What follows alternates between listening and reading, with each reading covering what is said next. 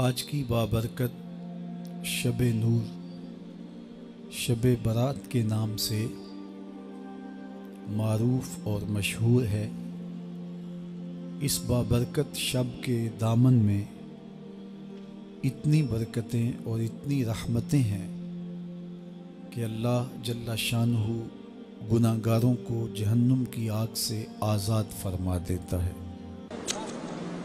या इंसान मा गर्र का बेरब कल करीम ओ भागे हुए इंसान ओ गाफिल इंसान पलट के आ जा तेरा रब बड़ा ही करीम है।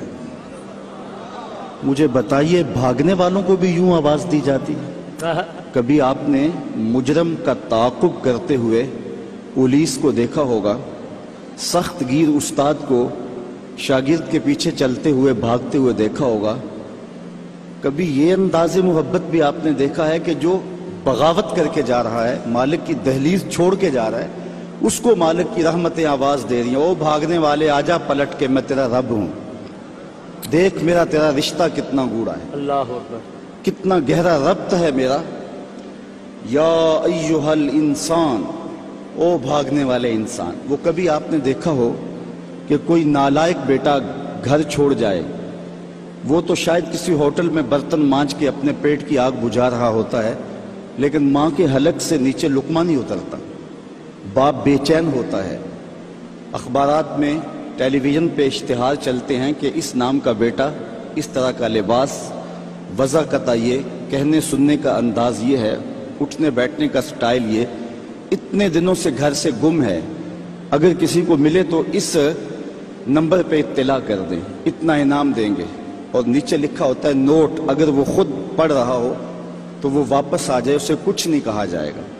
जब मैं कभी भी इस कबील का इश्तहार देखता हूँ तो मेरी नज़र पलट के इस आयत पे आती है। मालिक भी कह रहा है ओ भागे हुए इंसान आजा पलट के तेरा रब करीम है कुछ नहीं कहेगा। वो तेरे सारे गुनाह माफ़ कर देगा। हाय हाय। गुनागार की आँख का पानी अल्लाह के गुस्से की आग को ठंडा कर देता है। अतायब मिन जम्बे कमल्ला जम्बा लहू। गुनाह से तौबा करने वाला ऐसा होता है जिस तरह उसने गुनाह किया हुआ ही। नहीं बल्कि रसूलुल्लाह सल्लल्लाहु अलैहि वसल्लम ने इरशाद फरमाया एक मिसाल के साथ कि कोई शख्स सहरा का सफ़र कर रहा हो तो रास्ते में वो सस्ताने के लिए किसी दरख्त के नीचे सो जाए। उसका सामान उसके सफ़र का सारा तोशा उसकी सवारी पे था। अचानक आँख खुली तो देखा कि सामान नहीं है, सवारी भी नहीं है। वो दाएँ बाएँ भागा, लेकिन उसने देखा कि सवारी के आसार दिखाई नहीं देते।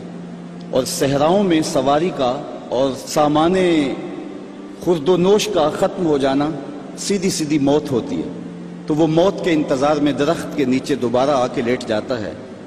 उसकी आँख लग जाती है, फिर अचानक आँख खुलती है तो देखता है कि वो सवारी माँ साजो सामान के पास खड़ी है।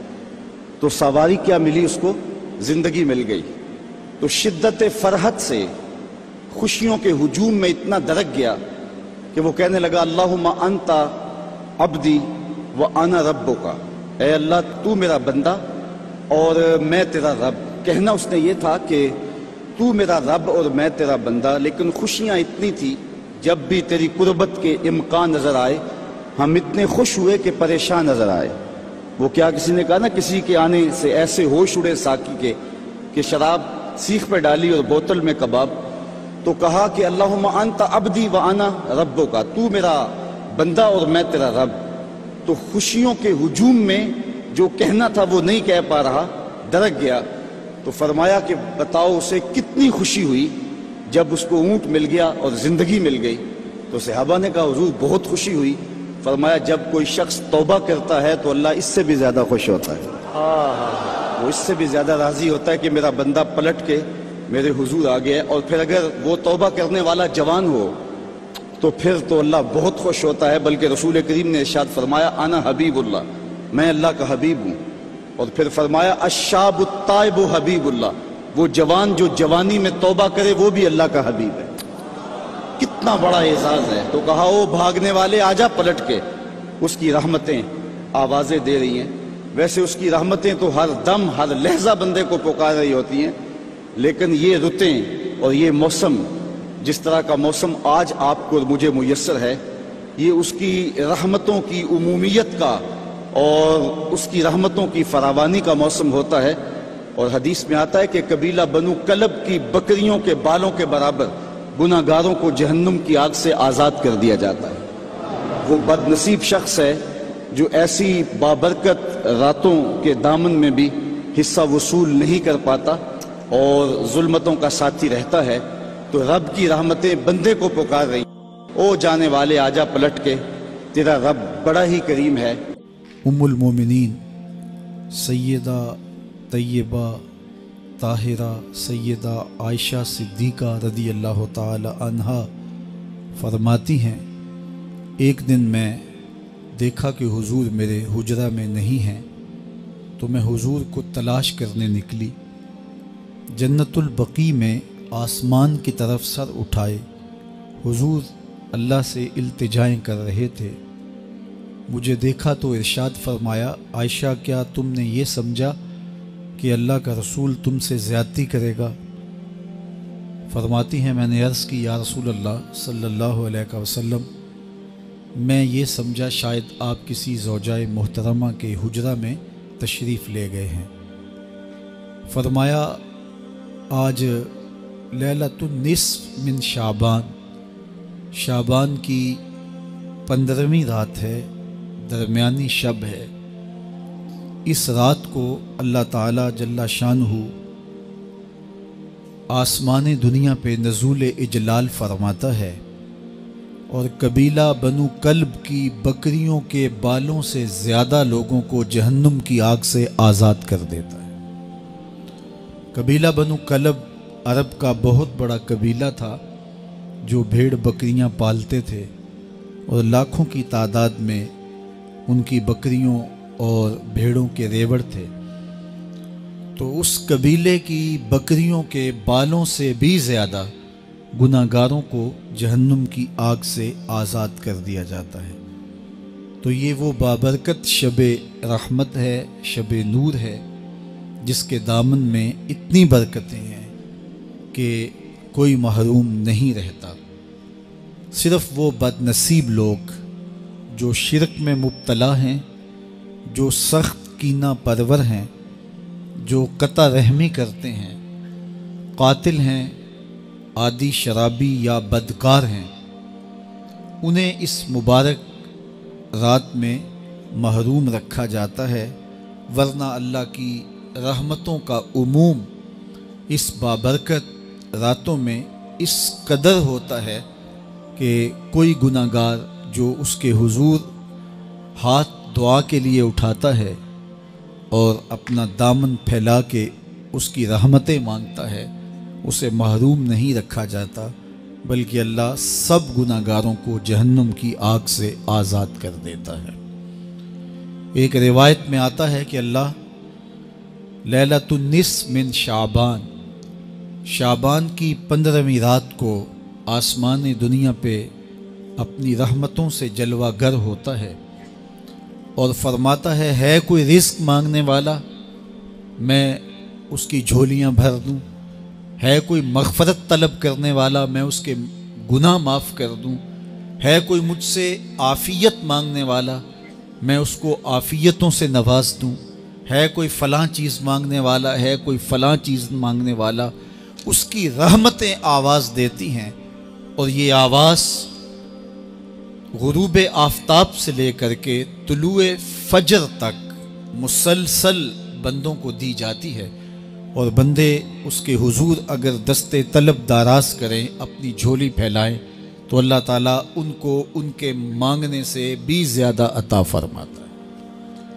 इस उम्मत को अल्लाह ताला ने इस तरह की रातें दे करके मगफरत, बख्शिश, गुफरान और रहमतों की फरावानी नसीब की है। मेरे हुजूर ने इशाद फरमाया, एक शख्स सुबह से लेके जोहर तक मजदूरी करता है। उसको एक की रात मिलता है। एक जहर से लेकर असर तक मजदूरी करता है। उसका वक्त थोड़ा है, लेकिन उसको भी एक की रात मिलता है। और तीसरा शख्स असर से लेकर मगरब तक मजदूरी करता है। उसको दो की रात मिलते हैं, जबकि उसका वक्त दोनों से कम है। फरमाया, पहली मिसाल यहूद की है, दूसरी मिसाल नसारा की है और तीसरी मिसाल मेरी उम्मत की है कि इसको थोड़े अमल पर ज़्यादा सवाब दिया जाता है। तो यहूद और नसारा ने इस पे बुरा मनाया। तो हुजूर अलैहिस्सलाम ने फरमाया कि अल्लाह ने उनके अजर में तो कमी नहीं की, लेकिन मुसलमानों को ज़्यादा अजर दे दिया तो ये उसकी करम नवाजी है। तो ये थोड़े वक्त की इबादतें और चंद रातों की बेदारी और मखसूस अवकात में अल्लाह के हुजूर, इबादत रियाजत एक गुनागार को कहाँ से कहाँ तक पहुँचा देती है, उसके गुनाहों की माफ़ी का ज़रिया भी बनती है और दराजात की बुलंदी का सबब भी। देखिए, लैलतुल कदर एक रात हज़ार महीने की इबादतों से बेहतर करार पाती है। इसी तरह दीगर मौाक़े हैं कि अल्लाह ताला इस उम्मत के लिए रखे हैं। रहमत रब बहाना मी तलब। और यूँ भी पढ़ा गया, रहमत रब बहाना मी तलब। उसकी रहमतें कीमत नहीं मांगती और उसकी रहमतें बहाना तलाश करती हैं। तो वो अपने बंदों को बख्शने पे आमादा है, अगर वो अपना दामन तलब फैलाएँ। कुरान मजीद में एक मुकाम देखिए, कितना दिलावेज है। फरमाया, मा बे अजाब कुम अल्लाह तुम्हें अजाब दे के क्या करेगा? उसकी ये चाहत नहीं है कि तुम्हें अजाब में मुबतला करे।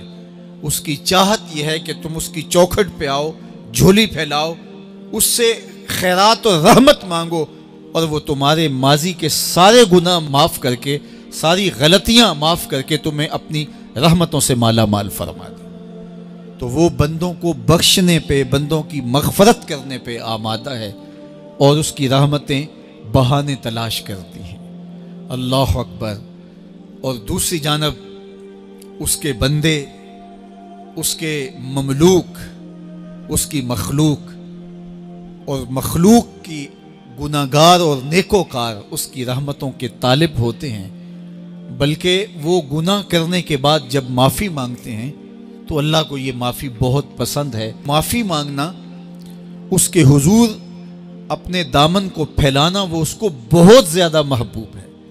इंसान की फितरत के अंदर गुनाह रखा गया है। आग, हवा, मट्टी, पानी, ये इन चार चीज़ों का मुरक्कब है। इसके जो अनासर हैं, उसमें कभी एतदाल कायम नहीं रहता और इससे गुनाह सरजद हो जाते हैं। गुनाह करने के बाद बंदे का उस गुनाह पे असरार करना, अड़ जाना, ज़िद करना, तोबा न करना अल्लाह को ये पसंद नहीं। लेकिन अगर उससे गुनाह सरजद हो जाए तो फिर वो तोबा कर ले तो अल्लाह को ये बहुत ज़्यादा पसंद है। जो उससे हो सके नेकी वो अल्लाह के हुजूर पेश करे। लेकिन उसके अंदर जो शर रखी गई है, उसके अंदर जो कुतें गुनाह की रखी गई हैं उससे अगर उससे गुना सरजद हो जाए तो फिर वो अल्लाह से तौबा करे, अल्लाह की तरफ़ रुजू करे। तो अल्लाह उसकी तौबा को न सिर्फ़ कबूल करता है, बल्कि उसके गुनाहों को माफ़ करता है और गुनाहों को बदल के नेकियों में तब्दील कर देता है। जब गुनाह नेकियों में तब्दील हो गए तो जितना बड़ा गुनागार था, उतना बड़ा नेकोकार हो गया। हज़रत सैदना उमर रदी अल्लाह हो बाज़ार में जा रहे थे तो एक शराबी ने हाथ में बोतल पकड़ी थी शराब की। तो हज़रत उमर हाथ में दुर्रा रखते थे और आपका जाहो जलाल दीतनीत होता। तो जो ही हज़रत उमर रदी अल्लाह तहो को उसने देखा तो डर गया और दिल ही दिल में कहा ए अल्लाह, आज उमर के कहर से बचा ले। मैं तेरी बारगाह में सच्ची तौबा करता हूँ और जल्दी से शराब को बगल में छुपा लिया। इतने में हज़रत उमर सर पे पहुँच गए और गरज कर कड़क के कहा कि ये तेरी बगल में क्या है? क्योंकि उसको बोतल छुपाते देखा था तो वो डर गया और डरते डरते कहने लगा, हज़रत, ये सिरका है। अब थी तो शराब, लेकिन डरते हुए बोला, हज़रत, सिरका है। तो हज़रत उमर ने कहा, निकाल। जब निकाला तो शराब नहीं थी, वाकई सिरका बन चुका था। तो जब अल्लाह के हुजूर कोई तौबा करता है, अल्लाह उसके गुनाहों को बदल के नेकियों में तब्दील कर देता है। हदीस पाक में आता है कि क़यामत के दिन अल्लाह एक शख्स को कहेगा कि अपना नाम अमाल पढ़। तो वो नामा अमाल पढ़ने लग जाएगा। तो नामा अमाल के अंदर छोटे गुनाह भी होंगे, बड़े गुनाह भी होंगे। तो अल्लाह से हया करते हुए, शर्म करते हुए वो बड़े बड़े गुनाहों को छोड़ता जाएगा और छोटे छोटे गुनाहों को पढ़ता रहेगा। जब वो सारे गुनाह पढ़ चुकेगा और किताब ख़त्म होगी। तो अल्लाह ताला उसे फरमाएगा, मेरे बंदे, तूने ये जितने गुनाह पढ़े हैं, मैंने सबको बदल के नेकियों में तब्दील कर दिया। तो बंदा कहेगा, अल्लाह, अभी तो मेरे बड़े बड़े गुनाह रहते हैं जो मैंने पढ़े ही नहीं। फ़दाह कन नबी हत्ता बदत अनियाबहू। हुजूर जब ये बयान फरमा रहे थे तो हुजूर इतना मुस्कराए इतना मुस्कराए कि सहाबा ने हुजूर की दाढ़ें देख ली। तो पहले वो बड़े बड़े गुनाह छोड़े जा रहा था, लेकिन जब अल्लाह फरमाएगा कि मैं तेरे गुनाहों को बदल के नेकियों में तब्दील कर दिया तो वो कहेगा, अभी तो बड़े बड़े गुनाह रहते जो मैंने अभी पढ़े ही नहीं। तो जब कोई बंदा उसके हुजूर तौबा करता है, अल्लाह ये नहीं देखता इसने गुनाह कितने किए हैं। ये देखता है, बंदा आया मेरी चौखट पे है तो अल्लाह उसके पिछले सारे गुनाह माफ़ फरमा देता है। अल्लाह अकबर, मेरे और आपके हक़ मौला ने अल्लाह के हुजूर तौबा करने और उस पर अल्लाह की खुशी और अल्लाह की खुशनुदी का ज़िक्र करते हुए एक मिसाल बयान फरमाई कि एक शख्स सहरा में सफ़र कर रहा था तो वो एक दरख्त के नीचे दोपहर काटने के लिए, सस्ताने के लिए रुक गया और दरख्त के साथ अपने ऊँट को बाँध दिया और ख़ुद लेट गया ताकि दोपहर काट लूँ। थोड़ी देर के बाद जब उसकी आँख खुली तो उसने क्या देखा कि ऊँट माँ साजो सामान के साथ गायब है। अब सहरा में ऊँट का गुम हो जाना गोया ज़िंदगी चले जाने के मुतरदिफ है। तो उसने दाएँ बाएँ भाग दौड़ के देखा कि कहीं ऊँट का निशान मिल जाए, लेकिन ऊँट का निशान नहीं मिला। ता हद नज़र कोई इंसानी आबादी नहीं। वो भागा और थक हार के दोबारा उसी दरख्त के नीचे बैठ गया। और प्यास से हलकान हुआ जा रहा था और दरख्त के साथ टेक लगा के लेट गया और मौत का इंतज़ार करने लगा। जिन लोगों ने सहरा का सफ़र किया है, उनको इस बात का अंदाज़ा होगा कि कई कई सौ मील तक इंसानी आबादी ही नहीं। अब ना कुछ खाने के लिए बचा, ना कुछ पीने के लिए बचा। ऊँट भी गायब हो गया, तोशा भी साथ ही चला गया। तो अब ज़ाहिर है सीधी सीधी मौत ही नज़र आ रही है। तो वो उस दरख्त के साथ टेक लगा के बैठ जाता है और मौत का मुंतज़र होता है। थोड़ी देर के बाद फिर उसकी दोबारा आँख लग जाती है। जब दोबारा आँख लगती है तो थोड़ी देर बाद फिर आँख खुलती है। जब दोबारा आँख खुलती है तो देखता है कि ऊँट जो गुमा था माँ साजो सामान के उसके पास खड़ा है। तो सहरा में, इस हालत में, ऊँट का मिल जाना, ज़िंदगी मिल जाने के मुतरदफ है। तो वो इतना खुश हुआ, वो इतना खुश हुआ कि खुशी की इंतहा न रही, बल्कि मुसरतों के हजूम में दरक गया और कहने क्या लगा, अल्लाहुम्मा अंत अबदी व अना रब्बु का ए अल्लाह, तू मेरा बंदा और मैं तेरा रब। कहना तो ये था कि तू मेरा रब और मैं तेरा बंदा, लेकिन मुसरतों का हजूम ही इतना था, खुशियों का हजूम ही इतना था कि ज़ुबान पे काबू ना रहा। किसी के आने से ऐसे होश उड़े साकी के, शराब सीख पे डाली और बोतल में कबाब। कहना यह था अल्लाह अंता रब्बी वाना अबदो का। लेकिन इस कदर खुश हुआ, जब भी तेरी कुर्बत के इम्कान नज़र आए, हम इतने खुश हुए कि परेशान नज़र आए। तो कहना यह था कि अल्लाह, तू मेरा रब और मैं तेरा बंदा। लेकिन खुशियों के हजूम में वो कहता है अल्लाह अंत आबदी व अना रब्बो का। ए अल्लाह, तू मेरा बंदा और मैं तेरा रब। हुजूर ये बात बयान करने के बाद सहाबा से पूछते हैं कि ज़रा बताओ, उस बंदे को कितनी खुशी हुई कि खुशी में ज़ुबान भी काबू ना रही और अपने आप पे कंट्रोल ना रहा और खुशियों के हजूम में उसे यह भी पता नहीं चल रहा कि वो क्या बोल रहा है। तो सहाबा ने अर्ज़ की, हुजूर, बहुत ज़्यादा उसे खुशी हुई। तो मेरे हुजूर ने ये बात करने के बाद इरशाद फरमाया, जिस तरह उसको गुमा हुआ ऊँट मिला और उसकी खुशी की इंतहा न रही। तो फरमाया, जब कोई शख्स तोबा करता है और अल्लाह की हुजूर पलट के आता है, गुनाहों से माफ़ी मांग के उसकी दहलीज पे आता है, मेरे हुजूर ने फरमाया, अल्लाह इससे भी ज़्यादा खुश होता है कि मेरा बंदा मेरी चौखट पे आ गया। तो वो ये चाहता नहीं कि अपने बंदों को अजाब दूँ। वो खुद आग में छलांगे लगाए तो उसकी मर्ज़ी। अगर गुना सरजद भी हो गया है तो कोई बात नहीं, माफ़ी मांग ली जाए। है तो रब की रहमतें बंदे को पुकार रही। ओ जाने वाले आजा पलट के, तेरा रब बड़ा ही करीम है। अच्छा यही काफ़ी था, लेकिन आगे फरमाया अल्लाह जी खाला का का, उसने तुझे पैदा किया है। तेरा रिश्ता के तेरा रब लगता है, तेरा रिश्ता के वो करीम है, लेकिन तीसरी बात ये फरमाई कि वो तेरा खालिक है। कितना गूढ़ा रब्त है, कितना गूढ़ा रिश्ता है कि वो तेरा खालिक है। माँ बेटे के साथ जो प्यार करती है, दुनिया के किसी तराजू पे तोला नहीं जा सकता। सारी दुनिया की मोहब्बतें एक तरफ़ और माँ का प्यार एक तरफ़। एक शायर ने माँ के प्यार को अपने लहजे में बड़े खूबसूरत पैराए में बयान किया कि मुद्दत हुई मेरी माँ नहीं, सोई ताबश। मैंने एक बार कहा था, मुझे डर लगता है। एक दिन मेरे मुँह से निकला था, अम्मी, मुझे रात को डर लगता है। मैं बूढ़ा भी हो गया हूँ, मेरी माँ इसी वसवास में रहती है कि मेरे बेटे को कहीं डर ना लग रहा तो बेटे के लिए ये उमटती हुई मोहब्बतें, ये प्यार के जज्बात। बल्कि मैं कहता हूँ कि आज बाज़ार जाएँ तो कोई शय खालिश नहीं मिलती। माँ का प्यार आज भी खरा है। माँ का प्यार आज भी सुच्चा है। समंदर की पाताल तक तो शायद कोई पहुँच गया हो, लेकिन माँ के प्यार का किनारा आज तक किसी को नहीं मिला। माँ जब बोलती है तो उसके लहजे में जिबरील बोलता है। माँ जब मुस्कराती है तो लगता है जन्नत की कलियाँ खिल उठी हैं। अल्लाह ने उसके लहजे में वो गदाज, वो नरमी, वो मोहब्बत रखी है औलाद का पेट पालने के लिए। उसको किसी के घर के बर्तन भी मांझने पड़े तो माँ इससे भी गुरेज नहीं करती। शहर में आकर पढ़ने वालों भूल गए हो। किसकी माँ ने कितना जेवर बेचा है? माएँ किन किन मराहल से गुजरती हैं? अच्छा मैं पूछता हूँ, माँ को बेटे से इतना प्यार क्यों है? तो उसका एक ही जवाब है कि उसने बेटे को जन्म दिया है। मैं इस पे अपनी गुफ्तगु को ख़त्म भी कर दूँ तो आप नाराज़ नहीं होंगे। ये इतनी खूबसूरत बात है कि माँ को इतना प्यार इसलिए कि माँ ने बेटे को जन्म दिया है। तो जिसने जन्म दिया है उसको इतना प्यार है। तो जिसने खलक किया है उसको कितना प्यार होगा।